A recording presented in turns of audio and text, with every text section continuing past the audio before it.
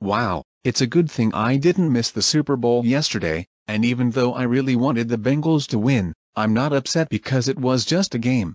Hey Dad, what's shaking? Oh hi Caillou, what do you want? Can I watch the Super Bowl with you?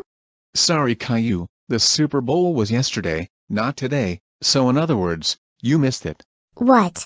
I missed the Super Bowl. But look on the bright side, there might be a Super Bowl next year, and I'll let you watch that one.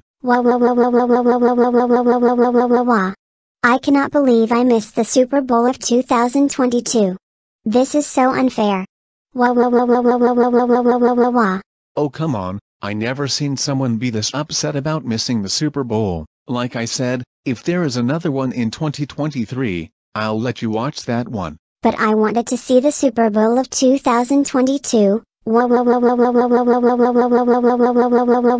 Caillou, how dare you throw a tantrum over missing the Super Bowl of 2022, that's it, you're grounded until 2024, also, if there's a Super Bowl in 2023, I will not let you watch it. Wow.